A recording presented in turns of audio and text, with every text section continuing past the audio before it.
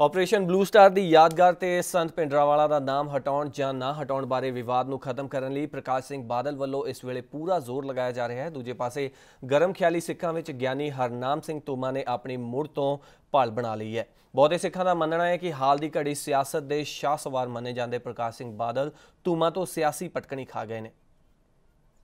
ਖਾੜਕੂ ਵਿਚਾਰਧਾਰਾ ਰੱਖਣ ਵਾਲੇ ਸਿੱਖ ਜਥੇਬੰਦੀਆਂ ਦੇ ਆਗੂ ਅਤੇ ਵਿਦੇਸ਼ਾਂ 'ਚ ਵਸਦੇ ਸਿੱਖ ਦਮਦਮੀ ਟਕਸਾਲ ਦੇ ਮੁਖੀ ਹਰਨਾਮ ਸਿੰਘ ਧੂਮਾ ਦੀ ਆਲੋਚਨਾ ਕਰਦੇ ਆ ਰਹੇ ਸਨ।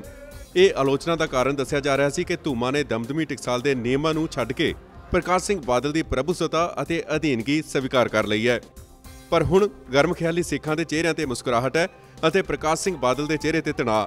ਇਸ ਦਾ ਭਾਵ ਹੈ ਕਿ ਦਮਦਮੀ ਟਕਸਾਲ ਦੇ ਮੁਖੀ ਹਰਨਾਮ ਸਿੰਘ ਧੂਮਾ ਨੇ ਪ੍ਰਕਾਸ਼ ਸਿੰਘ ਬਾਦਲ ਨੂੰ ਸਿਆਸੀ ਪਟਕਣੀ ਦੇ ਦਿੱਤੀ ਹੈ।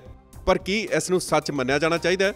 ਆਪਰੇਸ਼ਨ ਬਲੂ ਸਟਾਰ ਦੀ ਯਾਦਗਾਰ ਦੇ ਮਾਮਲੇ ਤੇ ਪ੍ਰਕਾਸ਼ ਸਿੰਘ ਬਾਦਲ ਦੀ ਹਾਲਤ ਸੱਪ ਦੇ ਮੂੰਹ ਵਿੱਚ ਕੋੜ ਕਿਰਲੀ ਵਾਲੀ ਬਣੀ ਹੋਈ ਹੈ। ਸਾਕਾ ਨੀਲਾਤਾਰਾ ਦੀ ਯਾਦਗਾਰ ਨੂੰ ਪੂਰਨ ਤੌਰ ਤੇ ਸੰਤ ਜਰਨੈਲ ਸਿੰਘ ਭਿੰਡਰਾਂਵਾਲਾ ਨੂੰ ਸਮਰਪਿਤ ਕਰਨਾ ਕੀ ਹਰਨਾਮ ਸਿੰਘ ਧੂਮਾ ਦਾ ਗੁਪਤ ਏਜੰਡਾ ਸੀ? ਕੀ ਅਜਿਹਾ ਕਰਕੇ ਧੂਮਾ ਨੇ ਬਾਦਲ ਨੂੰ ਸਿਆਸੀ ਠੇਬੀ ਲਾਈ ਹੈ? ਇਹ ਸਵਾਲ ਜਿੱਥੇ ਅੱਜ ਆਮ ਸਿੱਖ ਜਨਤਾ 'ਚ ਚਰਚਾ ਦਾ ਕਾਰਨ ਬਣਿਆ ਹੋਇਆ ਹੈ, ਉੱਥੇ ਬਾਦਲ ਦਲ ਅਤੇ ਉਹਨਾਂ ਦੇ ਆਲੇ ਦੁਆਲੇ ਵੀ ਯਾਦਗਾਰ ਨੂੰ ਲੈ ਕੇ ਚਿੰਤਾ ਬਣੀ ਹੋਈ ਹੈ। ਐਸੇ ਲਈ ਬਾਦਲ ਵੱਲੋਂ ਜਥੇਦਾਰਾਂ ਨੂੰ ਇਹ ਮਾਮਲਾ ਜਲਦੀ ਤੋਂ ਜਲਦੀ ਨਿਪਟਾਉਣ ਦੇ ਹੁਕਮ ਅੰਦਰ ਖਾਤੇ ਦਿੱਤੇ ਗਏ ਨੇ।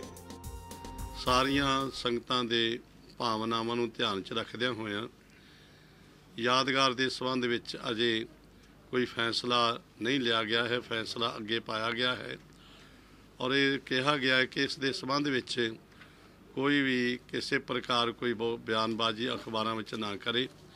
ਇਹ ਪੰਥਕ ਮਸਲਾ ਹੈ, ਆਪਣਾ ਘਰੇਲੂ ਮਸਲਾ ਇਸ ਨੂੰ ਮਿਲ ਬੈਠ ਕੇ ਸਾਰਾ ਜਿਹੜਾ ਹੈ ਹੱਲ ਕੱਢ ਲਿਆ ਜਾਏਗਾ, ਵਿਚਾਰ ਲਿਆ ਜਾਏਗਾ।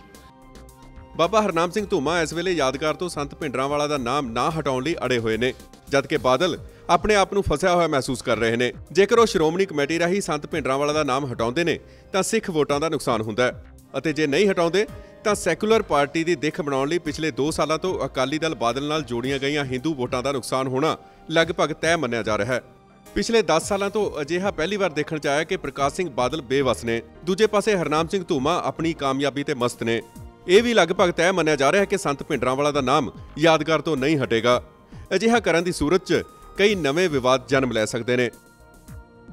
Bureau report day and night news. Chandigarh ਦੇ ਸੈਕਟਰ 22 ਵਿਖੇ ਯੂਨਾਈਟਿਡ ਸਿੱਖ ਮੂਵਮੈਂਟ ਵੱਲੋਂ ਇੱਕ ਪ੍ਰੈਸ ਕਾਨਫਰੰਸ ਕੀਤੀ ਗਈ। ਇਸ ਦੌਰਾਨ ਖਾਲਸਾ ਐਕਸ਼ਨ ਕਮੇਟੀ ਅਤੇ ਸ਼੍ਰੋਮਣੀ ਅਕਾਲੀ ਦਲ ਚੰਡੀਗੜ੍ਹ ਅਤੇ ਯੂਨਾਈਟਿਡ ਸਿੱਖ ਮੂਵਮੈਂਟ ਨੇ ਸਾਂਝੇ ਤੌਰ ਤੇ ਫੈਸਲਾ ਕੀਤਾ ਕਿ ਹੁਣ ਇਹ ਸਾਰੀਆਂ ਜਥੇਬੰਦੀਆਂ ਯੂਨਾਈਟਿਡ ਸਿੱਖ ਮੂਵਮੈਂਟ ਦੀ ਅਗਵਾਈ ਹੇਠ ਕੰਮ ਕਰਨਗੀਆਂ। ਡਾਕਟਰ ਭਗਵਾਨ ਸਿੰਘ ਇਸ ਦੇ ਚੇਅਰਮੈਨ ਅਤੇ ਸੁਪਰੀਮ ਕਾਉਂਸਲ ਹੋਣਗੇ। ਮੌਕਮ ਸਿੰਘ ਨੂੰ ਯੂਨਾਈਟਿਡ ਸਿੱਖ ਮੂਵਮੈਂਟ ਦਾ ਪ੍ਰਧਾਨ ਨਿਯੁਕਤ ਕੀਤਾ ਗਿਆ ਹੈ, ਜਦਕਿ ਗੁਰਦੀਪ ਸਿੰਘ ਬਠਿੰਡਾ ਨੂੰ ਜਨਰਲ ਸਕੱਤਰ ਵ- ਵਜੋਂ ਨਿਯੁਕਤ ਕੀਤਾ ਗਿਆ ਹੈ। ਇਸ ਸੰਸਥਾ ਦੇ ਕੁੱਲ 500 ਮੈਂਬਰ ਹੋਣਗੇ 170 ਧਾਰਮਿਕ ਮੈਂਬਰ ਸ਼੍ਰੋਮਣੀ ਕਮੇਟੀ ਦੇ 170 ਹਲਕਿਆਂ ਵਿੱਚ ਨਿਯੁਕਤ ਕੀਤੇ ਜਾਣਗੇ। ਇਸ ਤੋਂ ਇਲਾਵਾ 117 ਵਿਧਾਨ ਸਭਾ ਹਲਕਿਆਂ ਦੇ ਇੰਚਾਰਜ ਵੀ ਥਾਪੇ ਜਾਣਗੇ। ਜਥੇਬੰਦੀ ਨੇ ਸੱਜਣ ਕੁਮਾਰ ਨੂੰ ਸਿੱਖ ਕਤਲੇਆਮ ਦੇ ਮਾਮਲੇ ਵਿੱਚ ਬਰੀ ਕੀਤੇ ਜਾਣ ਤੇ ਨਿੰਦਾ ਕੀਤੀ ਅਤੇ ਕਿਹਾ ਕਿ ਇਸ ਮਾਮਲੇ ਵਿੱਚ ਢੁਕਵੀਂ ਸਜ਼ਾ ਦਿਵਾਉਣ ਲਈ ਉਹ ਸੰਘਰਸ਼ ਕਰਨਗੇ। ਹਰਮੰਦਰ ਸਾਹਿਬ ਵਿੱਚ ਸਾਕਾ ਨੀਲਾ ਤਾਰਾ ਦੇ ਸ਼ਹੀਦਾਂ ਦੀ ਯਾਦਗਾਰ ਤੇ ਛਿੜੇ ਵਿਵਾਦ ਬਾਰੇ ਆਗੂਆਂ ਨੇ ਹਰਨਾਮ ਸਿੰਘ ਧੁਮਾ ਨੂੰ ਹਮਾਇਤ ਦੇਣ ਦਾ ਐਲਾਨ ਕੀਤਾ ਹੈ। ਇਸ ਦੌਰਾਨ ਜਾਣਕਾਰੀ ਦਿੱਤੀ ਗਈ ਕਿ ਜਥੇਬੰਦੀ ਵੱਲੋਂ 8 ਜੂਨ ਨੂੰ ਬਠਿੰਡਾ ਵਿੱਚ ਸਮਾਗਮ ਕੀਤਾ ਜਾਵੇਗਾ।